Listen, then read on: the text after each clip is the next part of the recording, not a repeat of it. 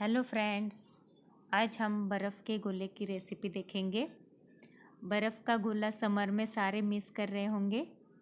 तो आज हम होममेड सिरप से बर्फ़ का गोला घर पे कैसे बनाना है, वो देखेंगे। तो आज मैं यहाँ पे आपको तीन सिरप बताने वाली हूँ, जो घर में जो अवेलेबल सामान होता है, उसी से बनेंगे। तो चलिए हम रेसिपी को स्टार्ट करते हैं। एक कढ़ाई में आपको एक कटोरी पानी लेना है। और उसमें आपको आधा कटोरी आपको शुगर डालनी है।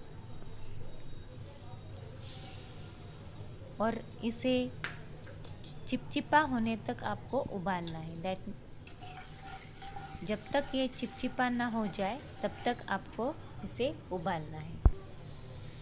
देखिए, इसमें अच्छे से उबाल आया है।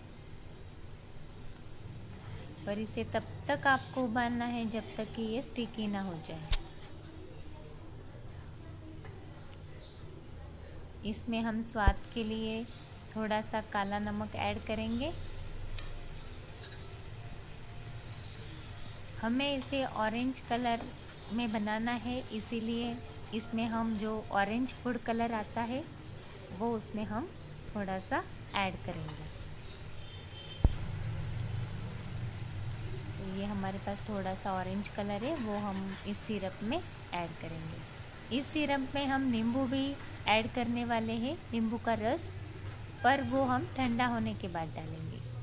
देखिए सिरप बन चुका है, अब हम उसे एक बर्तन में ट्रांसफ़र कर लेते हैं। ठंडा होने के बाद हम उसमें नींबू का रस डालेंगे। नींबू का रस आपको सिर्फ़ दो चम्मच डालना है। अब हम दूसरा सिरप बना लेते हैं यहाँ पे। जो हम कोकम से बनाएँगे। मैंने दो घंटे पहले कुछ दस बारह कोकम पानी में भिगो के रखे थे।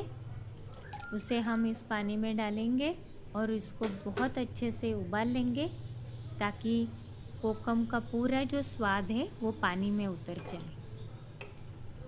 कोकम को अच्छे से उबाल आने के बाद हम उसमें शक्कर ऐड करेंगे।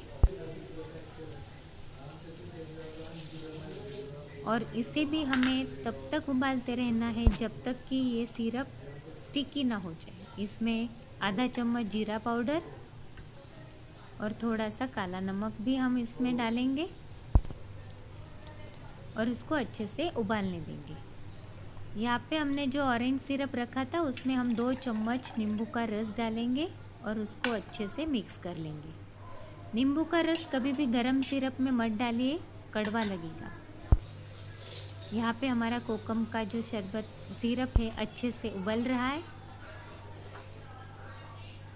हमने जो ऑरेंज सिरप बनाया है, उसे हम एक ग्लास में ट्रांसफ़र कर लेते हैं। और उसी बर्तन में हमने जो अभी कोकन, कोकम का जो सिरप बनाया है, उसे छान लेते हैं। और इसे भी हमें अच्छे से ठंडा हो जाने देना है। फिर ठंडा होने के बाद हम इसे भी ग्लास में निकाल लेंगे। तीसरा जो सिरप हमें यहाँ पे बनाना है, वो कच्चे आम का बनाना है। कच्ची कैरी जो आती है, उसका बनाएँगे। कच्ची कैरी को मैंने छीन लिया है और उसमें मैंने कढ़ाई में, मैंने उसको आधा कप पानी में उबालने के लिए रखा है। कोकम का सिरप हम ग्लास में निकाल लेते हैं। देखिए यहाँ पे आधा कटोरी पानी में मैंने कच्चा आम डाला है। जीरा पाउडर और काला नमक डाल के इसको अच्छे से उबाल आने देना है। कच्चे आम का है तो इसमें ग्रीन कलर जाएगा। ग्रीन कलर गोले में बहुत खूबसूरत लगेगा। और इसको भी हमें बहुत अच्छे से उबालने देना है, जैसे कि कैरी का पूरा स्वाद। पानी में उतरेगा। फिर हम इसमें भी शक्कर ऐड करेंगे और इस सिरप को भी हमें स्टिकी होने तक पकाना है। देखिए, हमारा जो सिरप है वो स्टिकी बन चुका है। अब हम गैस बंद कर देंगे और उसे ठंडा होने देंगे। इस सिरप में हम कुछ पुदीना भी डालने वाले हैं। इसीलिए मैंने मिक्सी में कुछ पुदीना के पत्ते लिए हैं। और ये जो कैरी का सिरप है, वो हम पुदीना के पत्ते के साथ अच्छे से उसकी पेस्ट बना लेंगे या मिक्सी में उसका अच्छे से क्रश करके उसका सिरप बना लेंगे। ये देखिए हमारा कच्चे आम का भी यहाँ पे सिरप रेडी हो चुका है। ये तीनों सिरप बहुत ही टेस्टी और हेल्दी है। आपके पास अगर कलर्स अवेलेबल नहीं हो तो आप बीट का जूस भी इसमें डाल के रेड कलर का बना सकते हो। इन तीनों जो सिरप हमने बनाए हैं, उनको आपको एक घंटे तक फ्रीज में रखना है ताकि वो बहुत अच्छे से सेट हो जाए। मतलब गाढ़े हो जाते हैं अगर आप फ्रीज में रखोगे तो। यहाँ पे मेरे पास तीन ग्लास है, उसमें हम बर्फ़ का गोला बनाएँगे। ये जो बर्फ़ मैंने फ्रिज में जमा के रखी थी, उसे हम मिक्सी में पीस लेते हैं। अच्छे से उसको मैंने यहाँ पे क्रश कर लिया है। अब जो ग्लास मैंने लिए थे, उसमें मेरे पास जो प्लास्टिक की स्टिक्स है, उसको बीचों बीच रख के चारों साइड से हमें बर्फ़ का जो क्रश है, वो डालना है और दबाते हुए उसका गोला बनाना है।